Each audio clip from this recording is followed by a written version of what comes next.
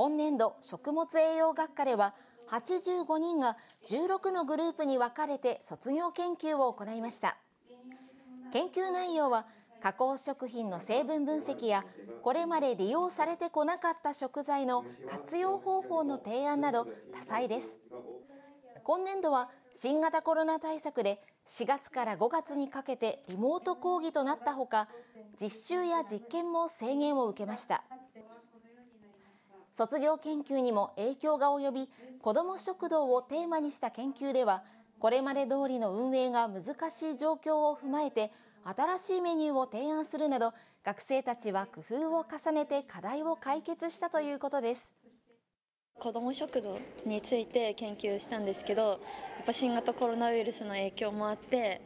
運営されていなかったということで今までの研究通りにはいかなかったのではないかなと思いました。私は、えっと、病院で働くので、えっと、寄食者の方のことを一番に考えてこの学校で2年間学んだことを生かして調理の技術だったり栄養面のことを考えて、えっと、働いていきたいなと思ってます。食物栄養学科では一部の学生が専攻科に進学して管理栄養士を目指すほかほとんどの学生が栄養士の知識を生かして県内の医療機関や福祉施設などに就職するということです。